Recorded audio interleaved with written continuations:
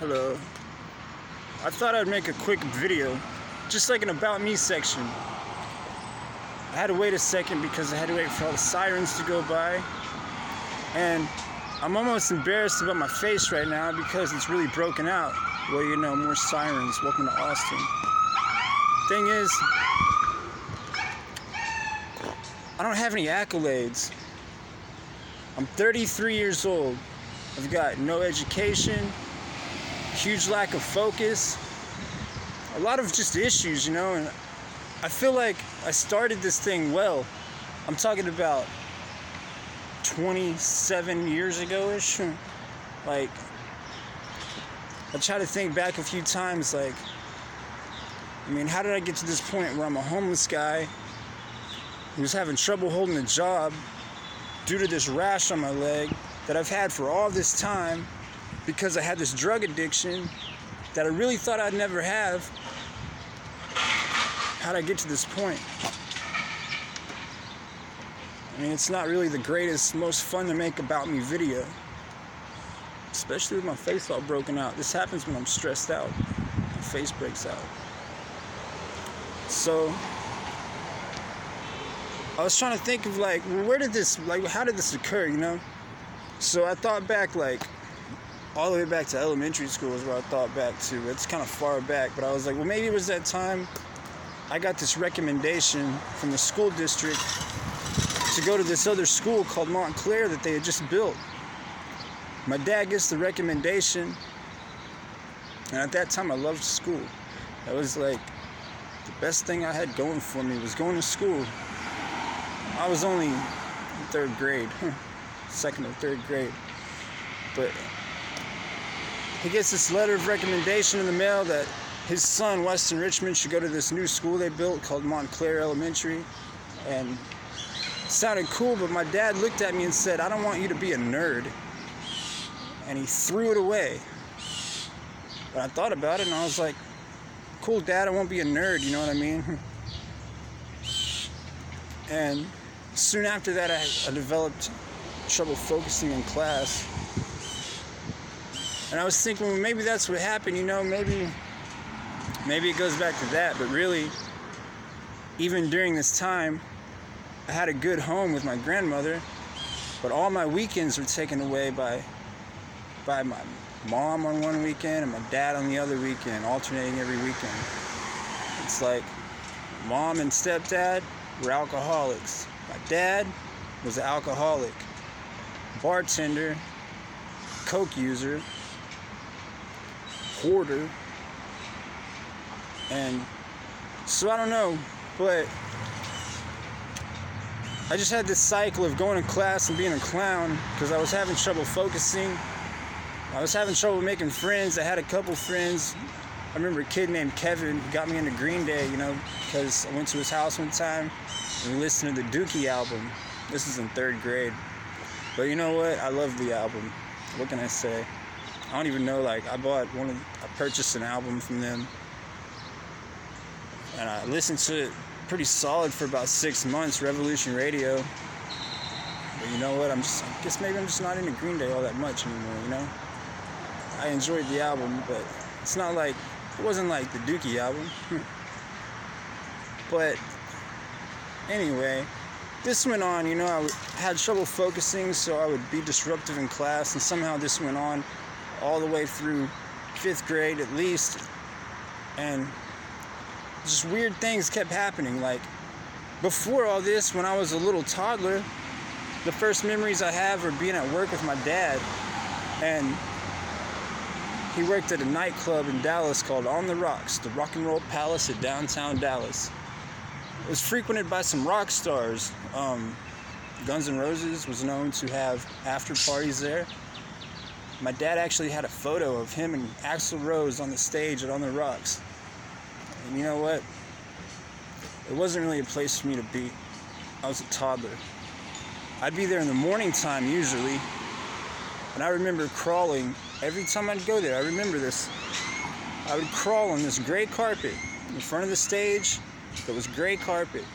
And I would crawl every inch of the gray carpet, look for any piece of paper I could to put in my mouth.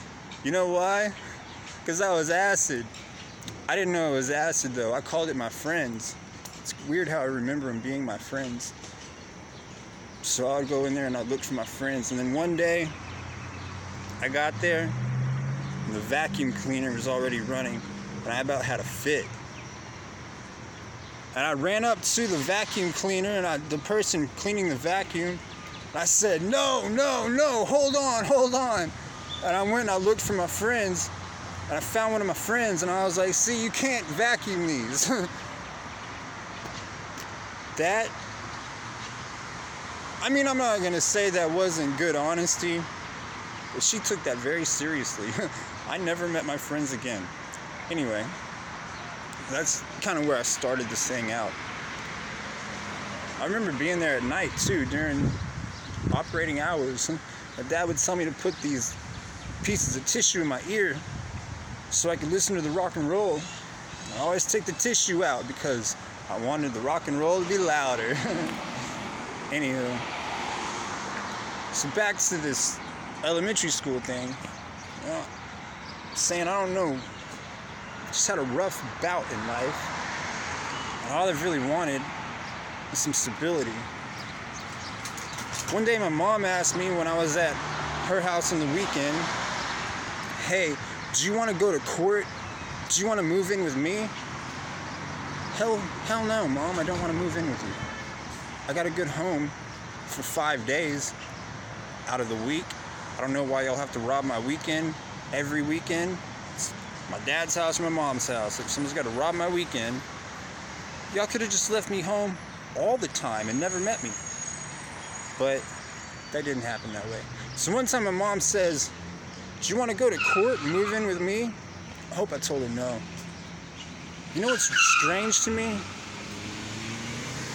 just after that, I was in fifth grade. I'm walking home from school. I remember it was hat day.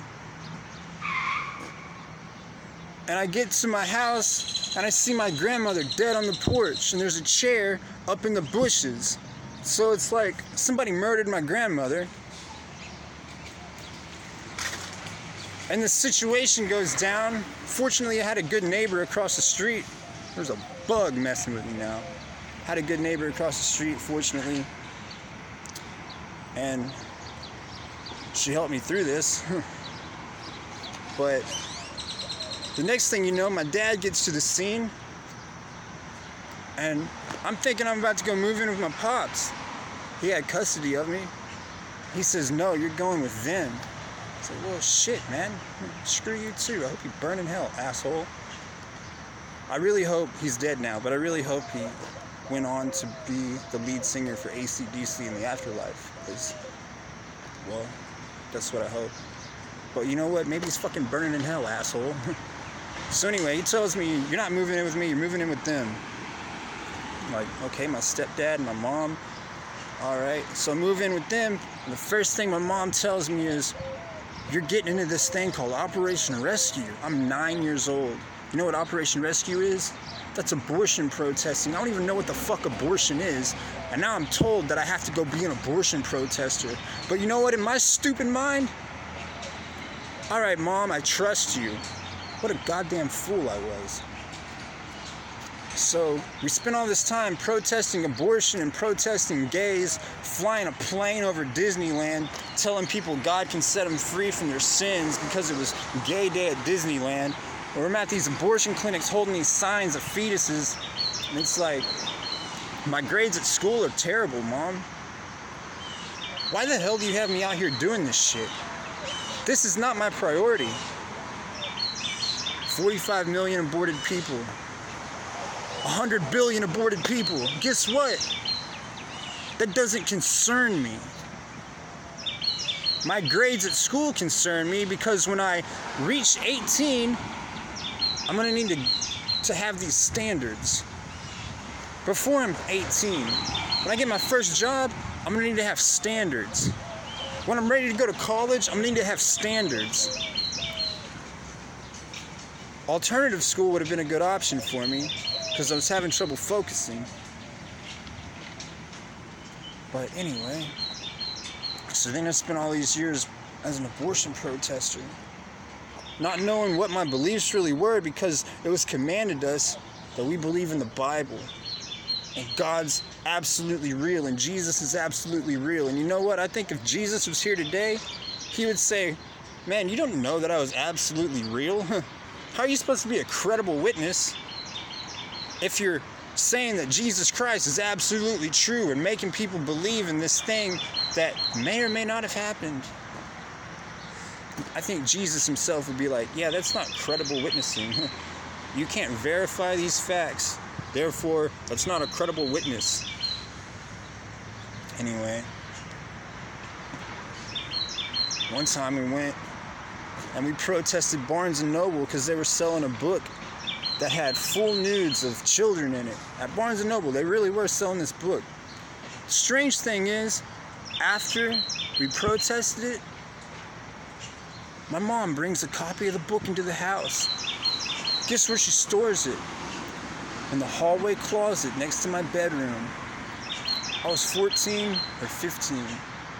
And this book of full nudes of 15 year olds, 16 year olds, all the way down to 10 year olds, she puts it in the closet next to my room. I mean, I already had an interest in pornography, but now I had a more of an interest in pornography because now I could see full nudes of girls my age. And somehow, it seems like the heat always comes back around on me, and I'm like, you know what? A lot of my actions when I've made bad decisions, maybe they're statistical because I had to deal with all this bullshit.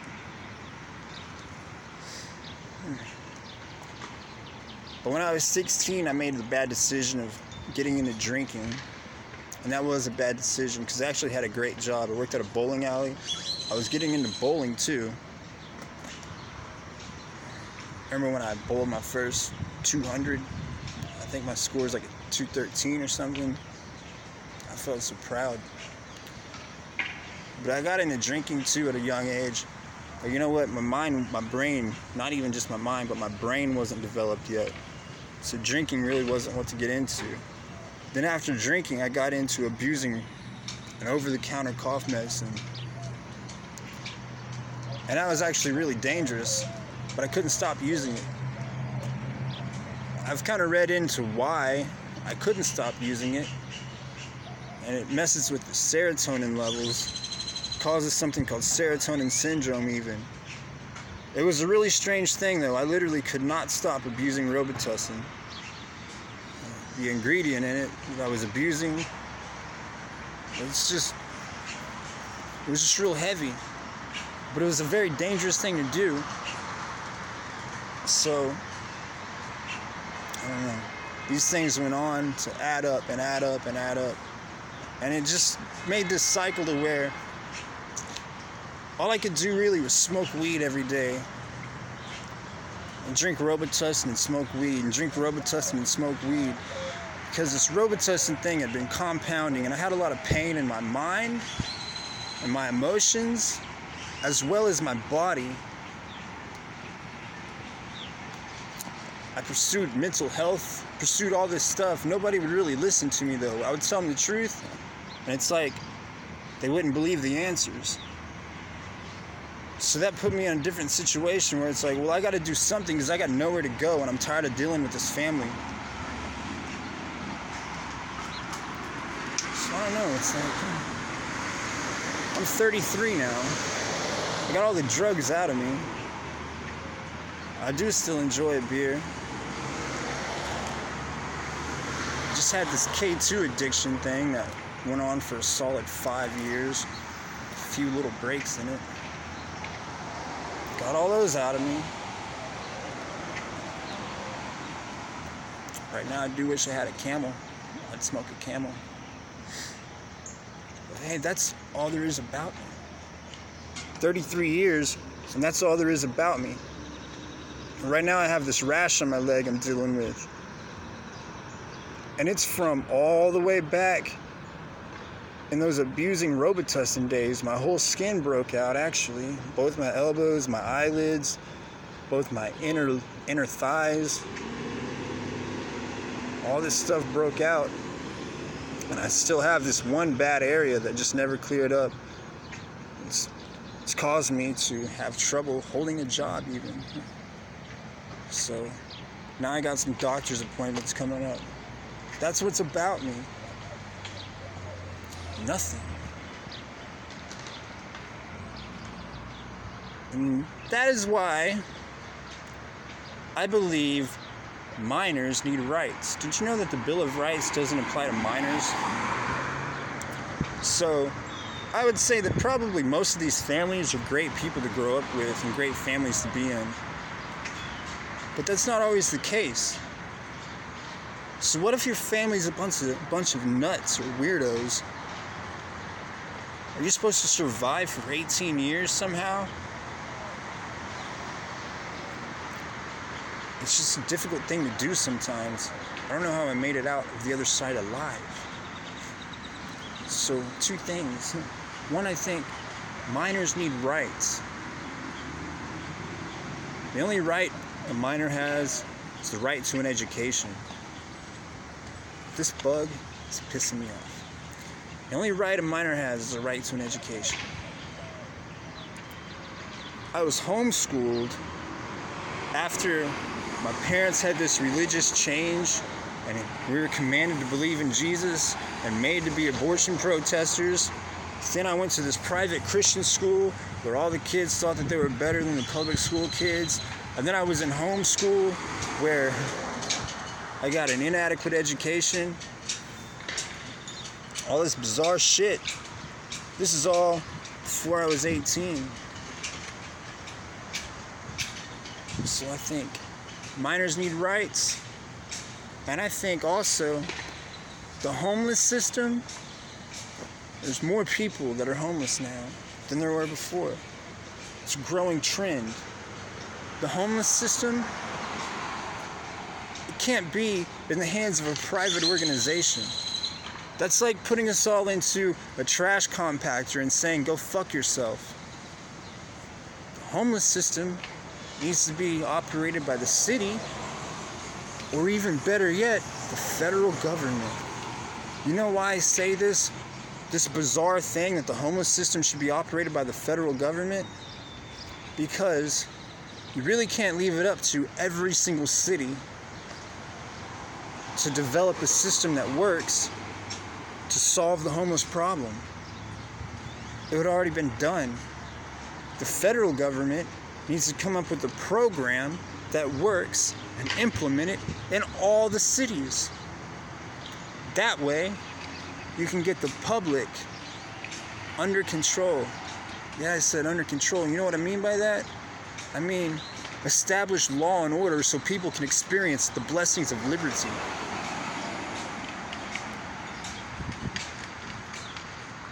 Guess that's it. About me. I'm stressed out though. When you see this on my face, that means I'm dealing with stress. I hope to make another About Me section in the future. I got some doctor's appointments coming up. I'm really working on this rash on my leg because I enjoy working. So, see where I go from here. But for 33 years, that's all that's about me.